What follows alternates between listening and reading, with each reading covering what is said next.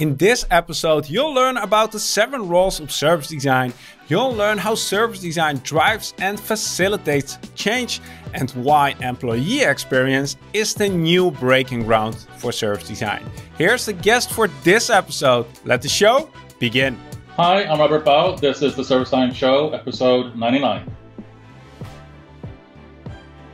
Hi, I'm Mark, and welcome to the Service Design Show.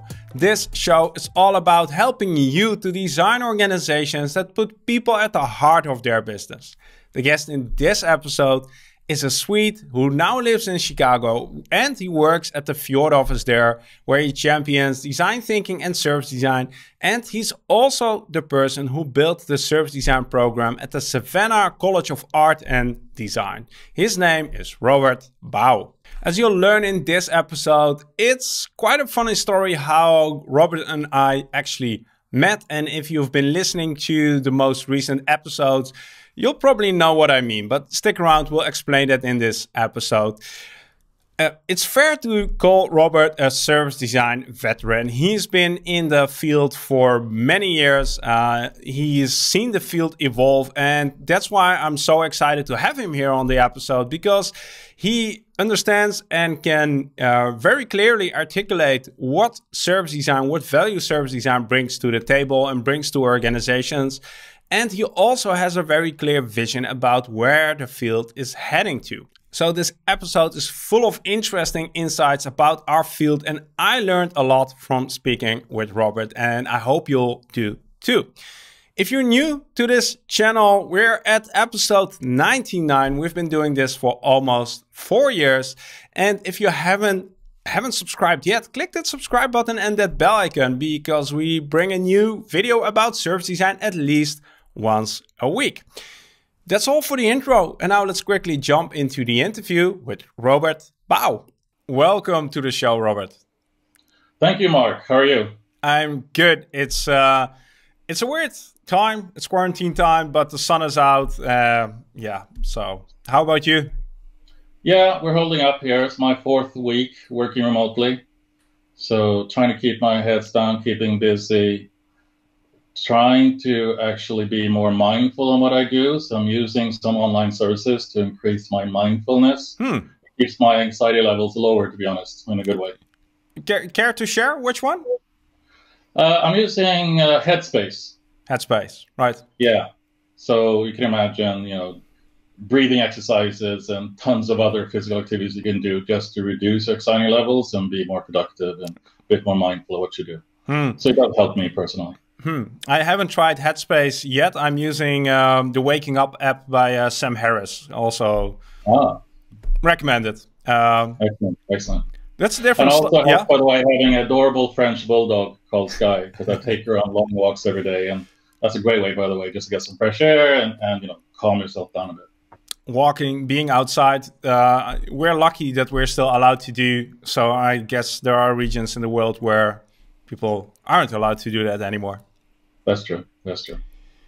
That's a different start of the show, uh, but let's give people a little bit of context how we actually met because it was coincidence. Who knows? I don't know. Uh, we had a guest on the show, Lincoln Nager, and in that episode, it was like two or three episodes ago, he said, "You know what? You might want to invite one of my former professors, Robert Bau." And then literally two days later, I was in Cologne. Um, so were you, and I was having lunch uh, at a conference, mm-hmm. and I met a random guy during lunch over coffee, and that random guy turned out to be you. That was me. Yeah. No, it was funny actually. It's, it was great bumping into you at the um, at the Future of Service Design Summit. It was a really good day, by the way. But I met all these fantastic people, including you, of course, Mark. Yeah. So it was serendipitous, I suppose, to meet up that way. It was. Uh, yeah. I did check out Lincoln's podcast, by the way. I thought it was great. I, I loved the format of the show, and I thought Lincoln came across really well and had a really interesting topic, and did a very nice shout out to SCAD and to me personally as being one of his professors. So I yeah. really did appreciate that. If uh, the people are interested in the episode with Lincoln, if you're listening to the video, then it will uh, pop up somewhere over here. And if not, if you're listening to the podcast, it will be down in the show notes. Uh, Robert, before we forget, I can imagine that there are some people out there who don't know who you are. Could you give like a very brief introduction? Sure. So I'm a senior service line director at Fjord. Uh, Fjord is part of Accenture Interactive. Fjord is nowadays one of the largest, perhaps the largest design firm in the world with 33 studios on all five continents. Personally, I'm based in uh, Chicago, uh, but I work across the, the US and also have global clients.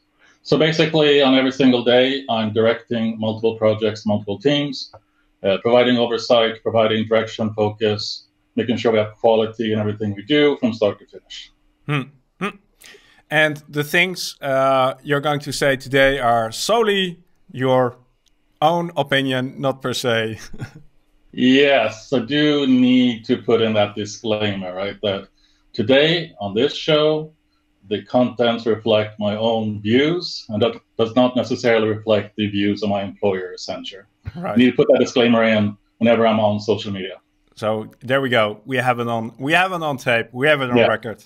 So I'm following corporate policy. That's all good, I suppose. All good. All good. we should. Uh, okay. We don't want to get you in trouble.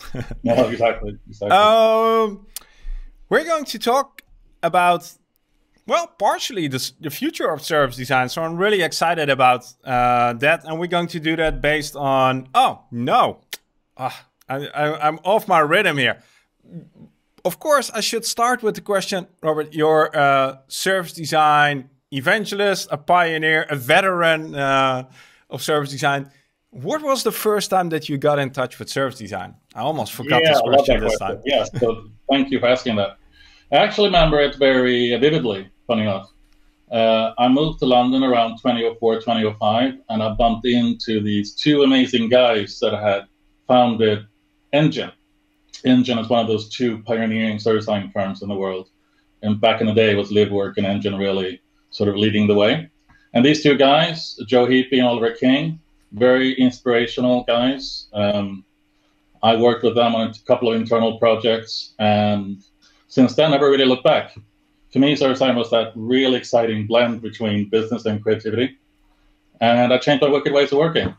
I became much more human centered, much more collaborative, um, you know, and so on and so on, putting much more prototyping in my way of working and so on. So that was great.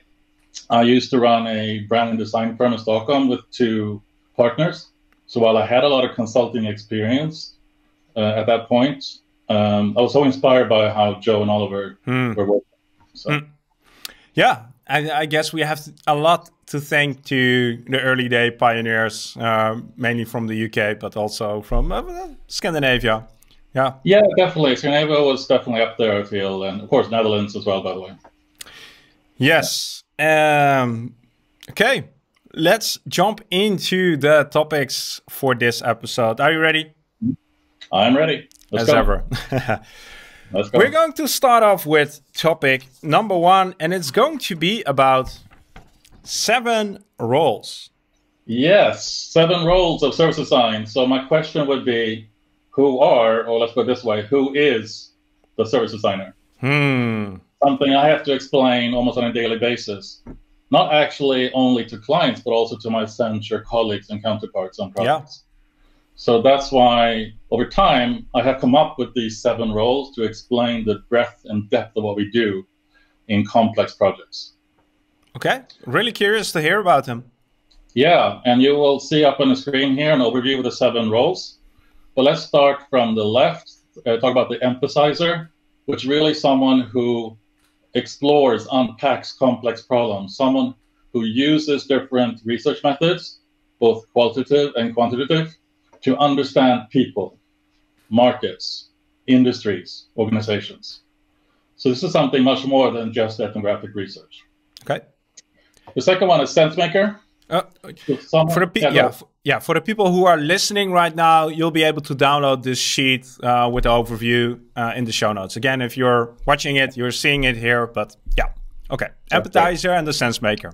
SenseMaker. So SenseMaker is simply someone who can uncover those deep insights and patterns and themes and so on across all research sources and methods, and also frame or reframe hypotheses, problems, opportunities, and so on. It's a really important role. Uh, the next role, if you go from the right, is the creator. So someone who systematically generates ideas, create concepts to both change behavior, but also get the job done. So coming up with new products, services, experiences, and so on. And then the maker is some, someone who simply conducts experiments, um, builds prototypes, um, launches pilots, and so on. And then we have the navigator, someone who sets the overall direction of where the company is going, the client is going, uh, someone who creates strategic platforms, uh, creates implementation roadmaps, and things like that. And then the servant leader, which is one of my personal favorites. I like to believe I'm one of those personally, if I may say so. Someone who can empower people from behind, someone who equips really people, teams, and so on with the right skill sets, the right mindsets to do amazing work. And that can also be, by the way, also on the client side. So someone else who embeds design thinking mm-hmm. and human centered design on the client side. And then in the middle, we have the storyteller. So someone who can simply uh, craft, dramatize, and tell amazing stories, whether it's about research findings or this new prototype you've built and tested, or about this new amazing business model you created for your clients, whatever it might be. So seven roles. It seems like a lot for a service designer.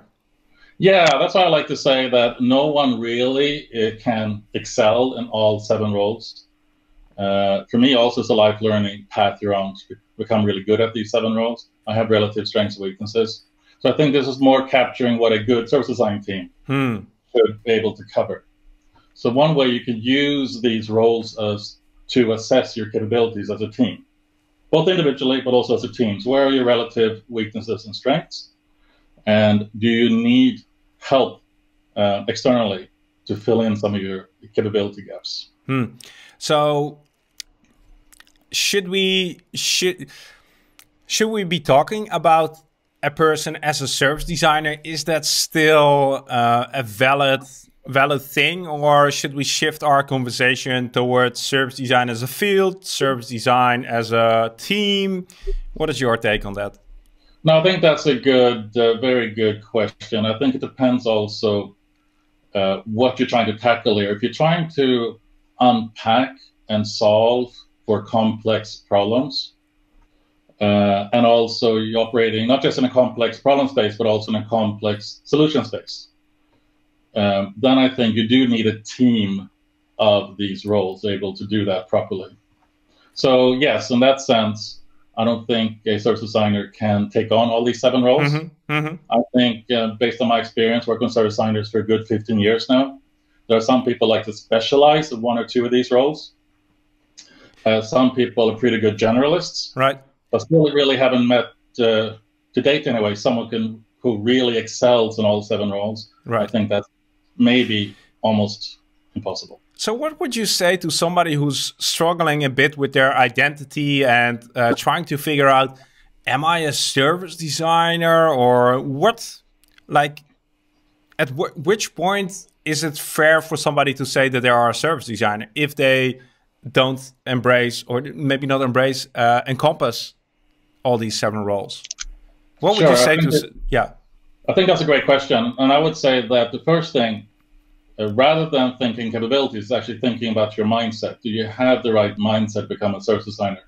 And that goes beyond just being human centered, because I would argue that most designers nowadays are human centered, something something unique for service designers alone. But the mindset really of being passionate about services, understanding that we do live in a service and experience economy. You need to be passionate about different type of services, understanding how services can be co-produced and co-delivered over time in different ways, mm-hmm. understanding different business models and so on, understanding different type of customer experiences you can stage around these services. So I think you need a passion for uh, services and understanding how services simply work. Then there's another part as well, Mark, is also as a service designer, it's not just looking how the customer what the customer is doing, or how the customers interact with the, with the with employees, but also looking internally, how do you empower employees to serve and support customers customers better? Sure. Yeah. That means you need to have an interest in things like processes, systems, you know, things like that. That's a really, really good and clear and consistent, uh, not, not a definition, but uh, explanation. I think uh, being passionate about services is what defines a service designer.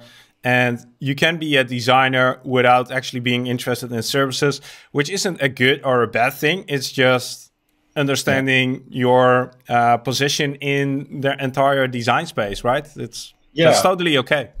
It's totally okay. I just want to say also there's some rigor behind these seven roles. I won't go through it now in this particular show, but there are three capabilities underpinning each role, clearly defined. Each capability, in order to deliver on it, you need to uh, carry out a series of interconnected activities. And of course, you're also using methods and tools. Hmm, hmm. So there is some rigor behind these seven roles, but you know, for, for this particular show, I'm just giving an overview. So if you want to learn more about them, just reach out to me. Yeah, that's good. Um, seven roles. And I think it's a good moment to transition into topic number two because there's uh, next to a passion for services, there's something else that ties in these seven roles. Uh, and that is, I think, the topic of change. Yeah, change is my new favorite topic, to be honest. um, and that is also linked to my question here, or your question here. What if service designers got involved in services and change processes? Aren't we already role roles yeah. of service design in change? Aren't we already involved in change? One way we are, mm-hmm. because we're involved typically in innovation projects, right? Trying to come up with new services, new products, new experiences on behalf of our clients. So yes, we are, and of course, innovation requires change, right? Or innovation drives change at the very least. Yeah. And change requires innovation. So yes, one way they are very intertwined. But specifically though, I don't always see service designers involved in change processes. Typically service designers dip out before large scale implementation. Right or wrong, but that's what typically mm-hmm. has happened in mm-hmm. our industry for many, many years. So, in order to get more involved in implementation in large scale change, we need to think what are we good at already? Hence, my seven roles. How can we bring those superpowers into change processes? So we can empower people and leaders to not only embrace change, but also drive change. So if if we're already part of a change process, whether we are conscious of it or not, what what would be what yeah what can we do to take that to the next stage because we're already doing research we're already doing ideation we're making prototypes and you say okay we dip out at the moment we try to scale up and implement i really recognize that mm -hmm. um, so what's what's what's the next frontier for us? How do we how do we take this to the next level? Yeah, so that's a great question, of course. The question I was asking, I tried to unpack that really. So what's the best way of figuring out the role we can play, the roles we can play in change processes? Because typically you have other type of consultants involved there. You have like organizational consultants, or management consultants, but not always designers, and particularly not service designers. So trying to figure out the role we could play. And one way I felt we need to understand change. What is change? And the, also the fact that organizations can drive change in different ways. And that's why I came up with this very simple two by two matrix to simply unpack different ways organizations might drive change. Because if, if you understand that, then you can figure out, try to figure out what role can we play or roles can we play. Let's give it a go. What kind of change um, arenas are there? Is arena a good word for that? yeah, arena is a good word. So I have a simple two by two matrix, which is flashed up on the screen now. And basically, there are four types of change. To keep it simple, this is my way of synthesizing tons of change sure. models and change mm -hmm. frameworks out there, right? So this is a simplification, but powerful nevertheless. So four fundamentally different ways to drive change. And the first one is called directed change. Simply this top-down way of driving change, typically led by leaders or experts. And typically this type of change is supported by this compelling North Star. Um, and basically, what you're doing is what the leaders are trying to do is to force employees to take action. So you do it through different types of top-down interventions. You can either force people to take action to adapt to this change and help drive the change, or you you encourage them to do it in different ways. Encourage. So very much, yeah. top down, very much a top-down way Yeah. of driving change. Uh, resistance is typically high, right? Because people have not been involved in this. And leader may may not be right as well. As you can imagine, you will get quite a few skeptics and even rebels, right? Hmm. resisting the change as well. So it's really interesting, and it's quite a common way, by the way, of driving change. I've been working in the US now for a good seven, eight years, and I feel most change I've seen up front is really this type of change, this directed change coming from the top. Sure. So it's interesting to see what type of role we can play, but I'm coming back to that just in a minute. And then the next one is guided change, which is more of a bottom up approach. So you will still have some kind of North Star, overarching North Star, but um, the change is driven by employees, not by the leaders. That's a big difference. hmm So basically, the um, overall direction is really decided by employees. So they're analyzing their own work environment, analyzing what's working, not working. You're using expert facilitators to drive this. They're experts in experiential re- uh, experiential learning and action research and things like that. And then um, you're, you're, so they're simply unpacking the problems, everyday problems at work, and also solving for them as well. hmm So much more of a bottom-up approach. Okay. So that's the second one. The third one is self-directed or organic change. Basically, is that the leaders provide no direction whatsoever, uh, and the leader's role is rather just to encourage people in teams to bump into each other, so to speak, to interact with each other, to play with each other, and let's see what happens. So you to take a step back, and you're just encouraging really, um, just encouraging really employees to collaborate and some people even call it play to play together. Hmm. Hmm. Really increasing. Serendipity. Yeah, serendipity. You just, as a leader, you're simply encouraging these interactions to happen, Okay. and then, and according to some people, this is the best way for organizations really to survive and thrive in turbulent environments. Okay. So this is based on chaos theory and complexity theory. This is viewing the organization as an adaptive, complex organism of sorts.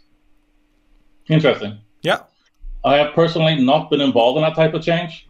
I haven't seen it up front for real, but I know organizations do change in this way.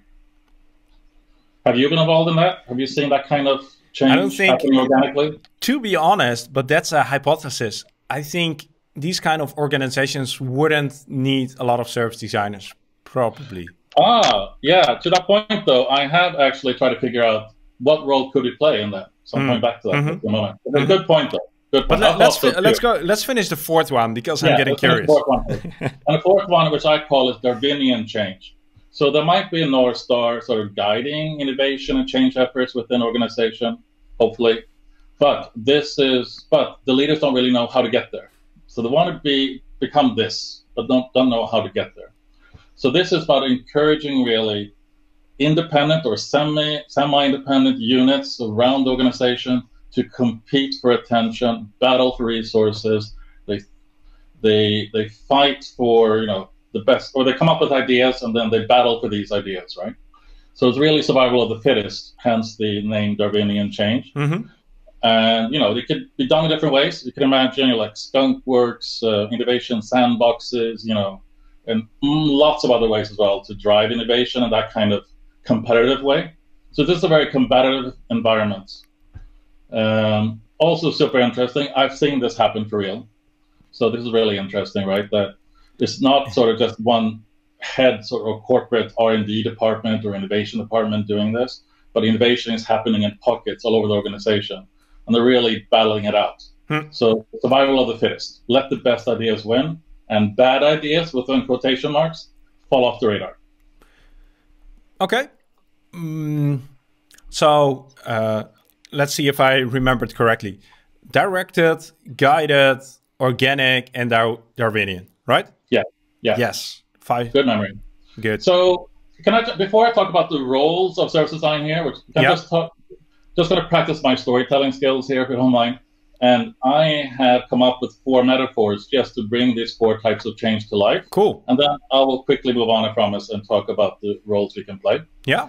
So for directed change, the metaphor is like winning hearts and minds in occupied territories.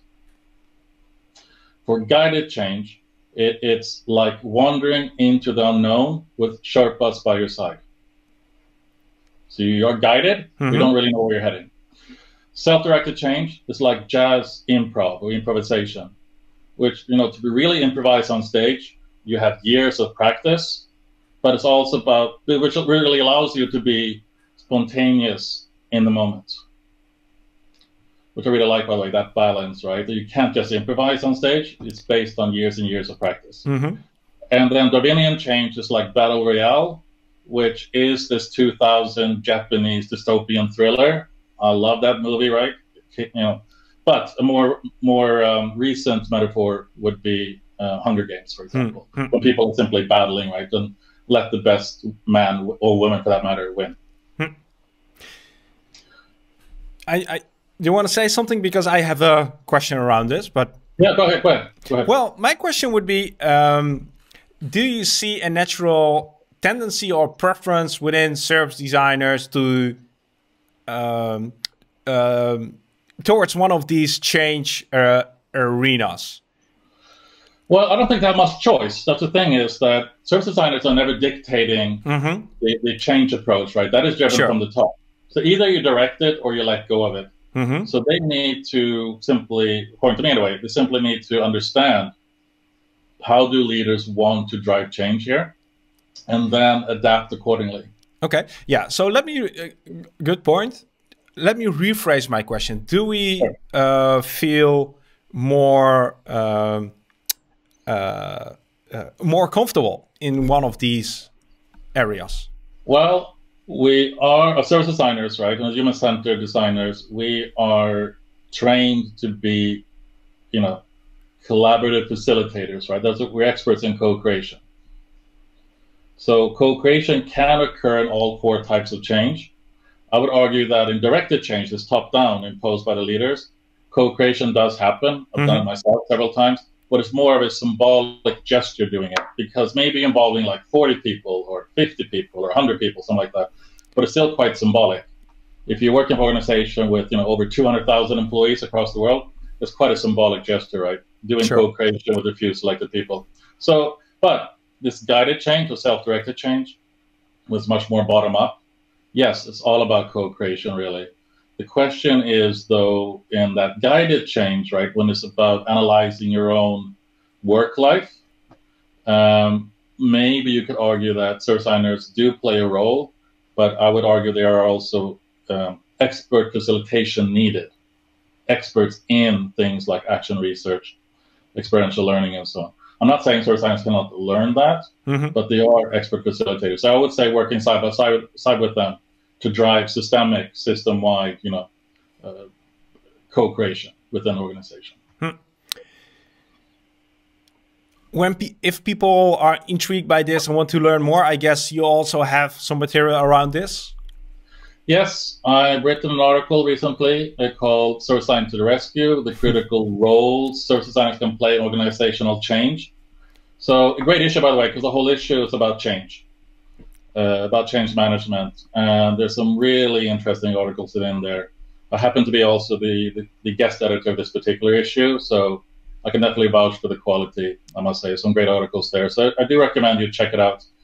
And I just wanted, and to that note, before we move on, just wanted to quickly talk about how service design can play a role in these four different types of change. Yeah. Okay. If that's okay with you, Mark? We're going to do an extended extended version of this episode. So let's let's go for it. Yeah, sorry, sorry about that, Mark. Don't talk too let's much. let's go. Let's do it. So directed change, right? The role of service design really is about helping leaders make the case for change.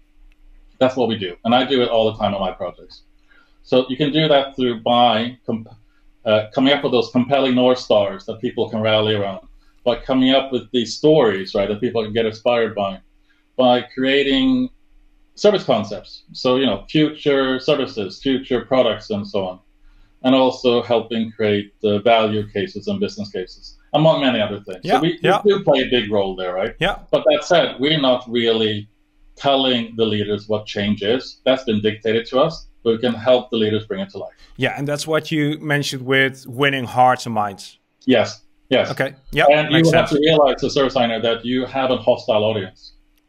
Doesn't matter how much co-creation you do, right? Resistance will be high. Hmm. It's interesting. We need to come up with ways to to um, Mitigate. tear those barriers down, Yeah. right? To to you know. Anyway, guided change is more about bottom-up innovation, right? And I, I mentioned this before that, of course, we play a big role by co-creating, right? But by encouraging co-creation across organization. So you know, systemic, systematic co-creation, organization-wide, at a scale you're probably not used to. So imagine doing this bottom-up organization with 100,000 employees, 200,000 employees. It's a scale we're not used Yeah. to. Yeah. But if you want to do it properly, that's what that's what what it takes. hmm This is not symbolic co-creation. This is genuine co-creation, true bottom up. This is like crowdsourcing, almost like internally, right? In in the best possible sense of the word. Uh, but then the self-directed change, this organic thing, I think the best thing we can do really is actually get out of the way, let people get on with it. But we can help leaders create the conditions for change and creativity and co-creation. We can create how-to guides. We can set up the rules of engagement, right? So how people can collaborate better together and things like that. So we can create the conditions to make it happen, but then actually get out of the way. So there's a role we can play, not super active, but Mhm. more creating the conditions. And then Darwinian change, this is like viewing innovation as a game, innovation-wide game really of innovation. So imagine that we can help design the rules for this. We can set the tone for it. We can create uh, innovation playbooks we can help leaders determine uh, how do you measure performance how do you how do you assess which ideas are better than other ideas and so on so we can help leaders in that sense to drive innovation in this decentralized way hmm What I like about um, the point that you're making here is that you sort of have deconstructed uh, service design into, like like we said, the different roles, the different capabilities and skills, um, and have put it onto uh, into different change arenas and use those different skills on in, Yeah. in different ways. And what the reason why I uh, like that is it gets away from the too simplistic notion of service design being about creating journey maps and Yeah. uh, and using Yeah. that. The, the it's not a caveat, but the the only catch here is that all this change is related to some kind of a service organization, which is basically every organization these Yeah. days, right? Yeah there, there's there might be that caveat so to speak but that said if you listen to Vargo and Lusch and so on right and other thinkers other academics all organizations are service organizations it doesn't even matter if you Exactly. I just worked actually. My most recent project was this interna- global, you know, international automaker, right? In theory, they're making cars. no, no, no. no, they're, they're service organizations, Especially moving into the future, they're definitely trying to become. You know, it's all about mobility, right? Which is, of course, a gigantic service.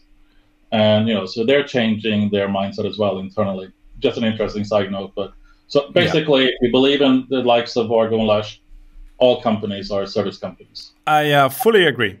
And uh, we've got one more topic that I'd love to cover with you in this uh, in this episode. So let's let's do it because uh, it's a natural uh, transition as people will uh, experience because this is about employee experience. Yes. So let's see if we can find a good question here. So let's put simply put this one: Why employee experience? Hmm. This is a new arena, really, for service designers. Not really new, because I said before in the beginning, we do look at what it takes internally, right, Yeah. to stage that amazing experience. So it's not new, but it's been focus, a renewed focus on employee experience. We have, we of course, a bit historically, always been very good at understanding the end-to-end employee, sorry, the end-to-end customer experience. Yeah. Trying to say. So this is just sort of redirecting that focus to the employees, based, of course, on the premise that how can we empower employees with better data, better insights, better tools, better services, better platforms, so they can do their job properly, so they can serve and support customers so much better than today. What is driving this uh, focus towards employee experience? I think there are several drivers. I think one big driver would be the need for organizations, the perceived need for organizations to be much more agile.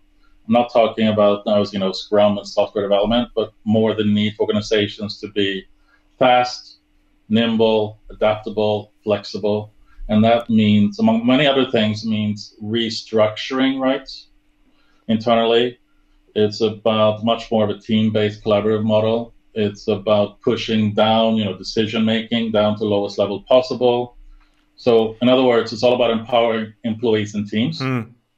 and that fits very nicely to. That means, in other words, that leaders feel is it time to rethink of the employee experience. That's one reason. Lots of other reasons. Another reason, just among many, is of course the need to attract and retain talent today.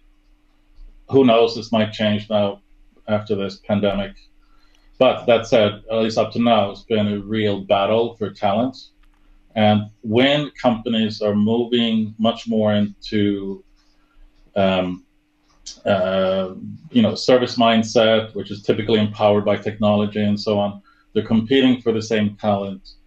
Uh, they're competing for this talent with Silicon Valley companies and so on, right? So they need to simply rethink the employee experience. How do we attract and retain talent? Hmm. hmm one more question that uh, just popped uh, popped up in my mind is I think a lot of service designers deeply want to create a better employee experience and to involve employees.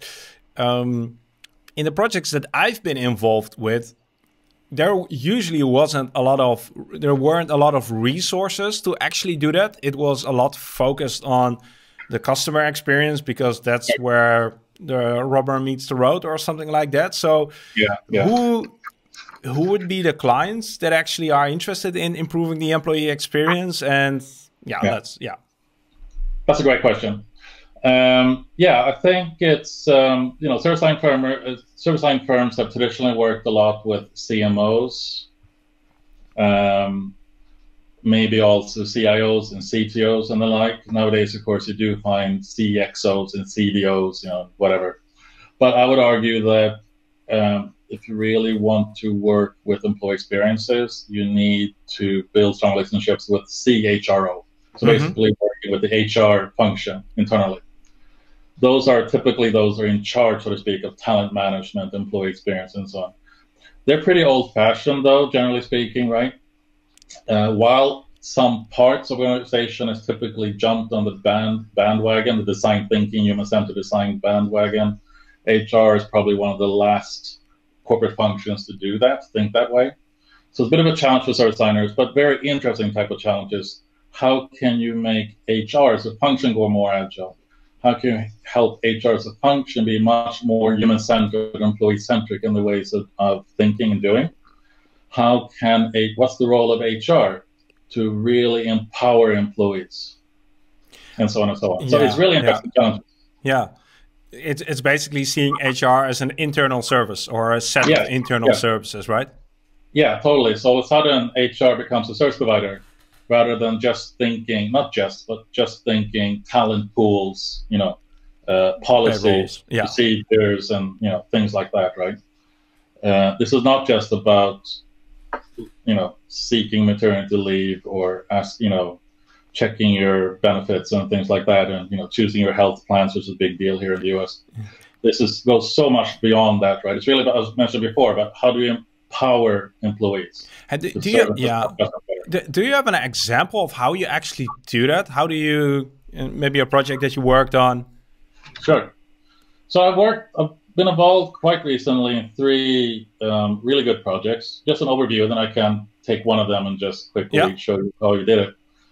Um, one was for a global leader in retail and wholesale pharmacy, and it was they were in the midst of going agile as an organization, want to be much more customer obsessed, their words, and much more innovative. So basically, the, the, our role as a service line team was to help HR figure out what type of services could they offer and deliver internally to make employees more agile, more innovative, more customer obsessed, And we also took it to the next level, not just employees at large, but also how can they help innovation teams become more agile, you know, innovation um, focused and customer obsessed. So it's really interesting. We mm. came up with like 30 service as a fully fledged service concepts. So this is a big, big shift in their mindset. Also, I'm becoming this internal service provider. Another project was for healthcare, one of the largest healthcare providers in the US wish I could mention which one, but this is all highly confidential. And they were uh, battling with, um, just like many other healthcare providers for that matter, but battling with things like, you know, people, clinicians feel stressed, demotivated, disengaged at work, and so on. They don't feel they have access to the right tools and data to serve patients. Quite a big problem, in other words, which means that quite high turnover yeah. in the health industry and even burnouts and so on, which is terrible. Um, so we reframed that project quite quickly and talked about how do we bring joy back into care and also help clinicians and care teams operate top of license. So while there was a productivity element to it, how can we empower teams, care teams, to be more productive, right? And spend more time on value added activities and actually help patients get better rather than spending on admin and other things. A big, big part of it was really how do we increase employee engagement? How do you increase workplace happiness? How do you get people more engaged? So we came up with 25 comprehensive services. Half of them were really about workplace happiness and engagement. Another half were more about team productivity, turning teams into high performing teams. And the third one was for that multinational automaker I mentioned. Um, how can what's the role of HR? How can HR resolve pain points in the end-to-end employee experience? How can they elevate moments that matter? And how can they help make the organization become more agile over time? Hmm. Once again, we came up with a number of service concepts uh, to help them do it. All based, of course, all three projects, all based on doing research, uh, just like in any other customer experience project, but the research is more directed internally. So you're talking with different types of employees at in different parts of the organization. And, and if the project is global, like I talked about the automaker, then you're doing this across the world as well. Hmm. I can imagine that you took uh, a lot of learnings out of these uh, projects, employee experience. For the sake of time, if you are there one or two maybe key uh, learnings that you'd like to highlight? Sure. So first of all, when you work on employee experience projects, you need to understand the overarching organizational quest. What do they want to achieve? Is it about productivity, right? I've been in those projects as well. They simply need to cut costs. They need to adapt uh, appropriately, right? Then it's all about how you make employees more productive and more high performing. But more often than not nowadays, I feel organizational quest is not really about productivity It's actually about being more agile, as I mentioned before, and that's super, you know, super interesting for service science to be involved in sure. this type of project. Another one, of course, another takeaway is that change is typically top down, at least in the U.S. or these global organizations with American headquarters.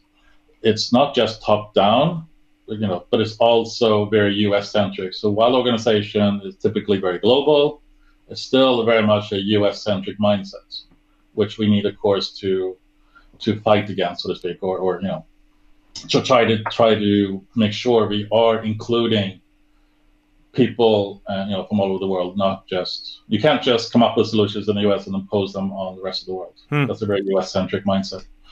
Another thing I feel is striking that balance between thinking big, thinking holistically, but also zooming in on what matters. And what way, and one, one way to make sure you're focusing on the right things is is identifying those moments that matter in the end-to-end employee experience. So typically you go all the way from hire to retire, keep it simple, but that's that's a pretty long journey that can span over several years. So about identifying really moments that matter in that end-to-end employee experience and using that to prioritize your research and design efforts. Hmm. hmm. Another one I would say is, and that's a really cool thing why we should get so involved in change, is that um, we're literally empowering employees. So come up with the right solutions. We're empowering employees with much better data, much better insights, much more appropriate tools, the right services, the right systems, and so on.